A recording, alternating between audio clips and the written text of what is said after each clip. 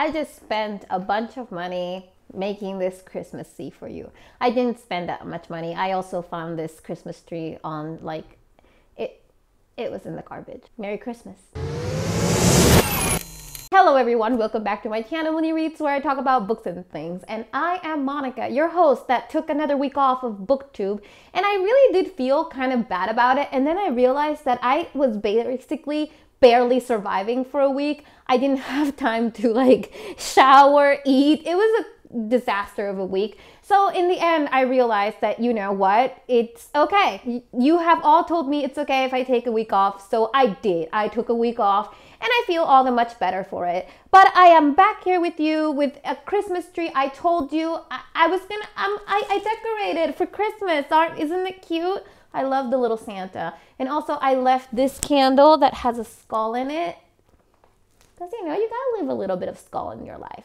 But anyway, let's get started with today's video. Today's video is a little bit of a story I have for you about how Amazon has basically ruined my book buying experience. Now, you all know that I am not anti Amazon. I am completely aware that some people don't have the ability to afford, much less even be able to get books that are not from Amazon.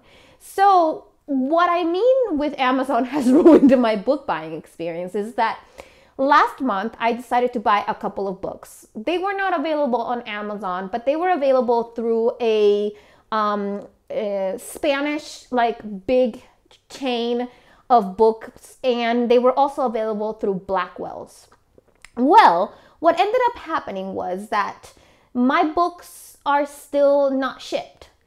And here's where the problem lies. Here's where like I started to like get angry. Also, by the way, it's still technically autumn until December 30 uh, December 21st, so that's still going to say autumn. But back to the story.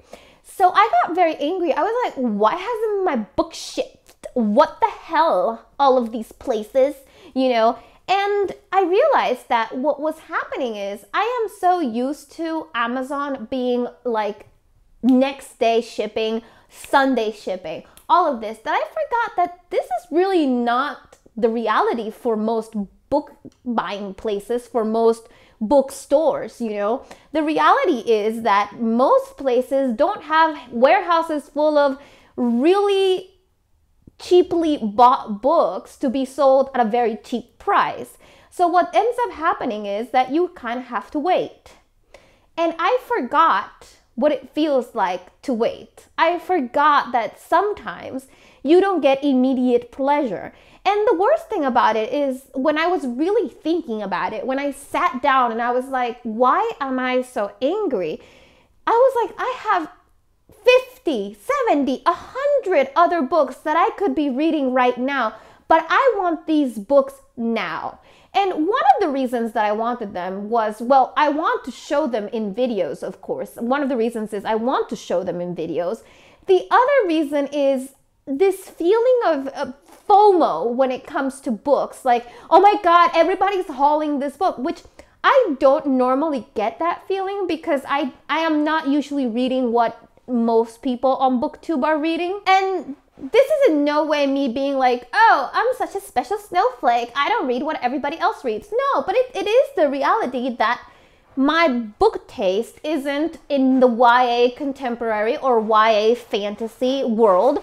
Therefore it's very normal that i'm not gonna be like getting all the new releases. But there are some books that i really wanted to talk about including one that was one of my favorite books of this year. I was going to do a top 10 list of my favorite books of the year. I was going to do Vlogmas. I was going to do so many things. But the reality is I have I, I was stretching myself thin. But going back to this, it's just this idea that if you don't have the latest release or if you don't have anything to show, people are not as interested in your videos. There's a reason why whenever I'm doing a wrap up, if I have 10 books, but I read five of them in audio, I will put 10 books. I will literally grab books that I didn't read just so that I have that 10 book stack so you can see all the wonderful, fantabulous books that I read. And I know for a fact that people enjoy it when you hold up a book more than when you put a picture of a book. It's also a lot easier to edit that way, just saying. And putting the picture takes, it doesn't take editing time because it's a really easy process, but it does take rendering time. So it's also easier for me if I have the physical book. So here's the thing the thing is that I've I've forgotten what it feels like to wait for something, to not have it me immediate, to to not have things in the very moment. And I think that this is something that we should be looking at. You know, I'm not saying that it's a bad thing or it's a good thing. It's just something to keep in mind whenever we are upset that something hasn't shipped or that it hasn't arrived to us or it's not within the allocated time, whatever that means. You know, um, I was very excited for the books that I ordered, and I am still excited, and they are still coming. That's the thing. They will be here. They're just not here when I want them. And and I think that that's the real issue. It's the I want it now and I get it now and and that's what Amazon has truly done to the book buying industry because the reality is well and especially today with you know the worldwide situation that we're going through, we're used to buying things online and getting them shipped right away. And local bookstores don't have that ability, especially in my case where I live in Spain and the local bookstores that I'm buying are from the UK and um, one of the bookstores that I bought from is not from the UK, but is shipping the books from the United States to get them and then send them to me. So it's gonna take a while. And you know what I decided? I'm gonna wait. I was gonna like, I was like angry, like, oh, I don't want this anymore. I don't want it if you're not gonna ship it, you know, like, uh, like a child. But then I thought, you know, girl, first of all, you don't even have time to read at the moment. I you will see in my coming up wrap up that I I did pretty good reading wise in in November, but I could have read so much more. The thing is, I just don't have time to read right now. And when I do have the time, the last thing that I kind of want to do is read because I'm tired. My brain is tired. I just want to watch what what is it called? The Great British Bake Off or similar shows that require me to just turn off my brain and just watch. And just that's it.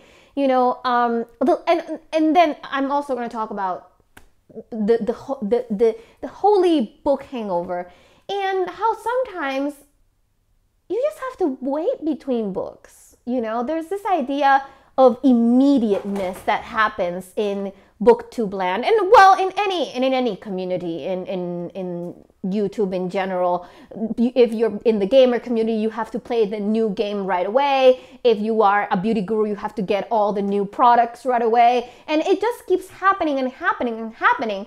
And it it causes stress. It causes stress on the creator but i think it also causes an expectation from the viewer from what to expect from their creators. What do you want from us? You know, you, you, of course, you want us to stay up to date, but I think people sometimes forget that that is almost nearly impossible to do, you know, or to talk about new books all the time, or to be reading all the time. That's another thing. But that's another thing for another video. Um, this doesn't mean that I'm breaking it off with Amazon. I have a whole video about that and about how that's um, not only not realistic, but it's also kind of um, um, elitist and a little bit. Um, people that do that are kind of out of touch with what is possible for some people to do and for other people to do. Um, so, yeah, I have a whole video about that. I won't delve much into that. But um, what I am going to say is that I feel it. You know, I get it. I get that. I get that I want it now moment and I had it. And I'm still kind of upset that I don't get to show you physically some of the books that I read because I really want to bring awareness to them. And I know that holding the physical book for you is much more engaging than seeing a picture of it.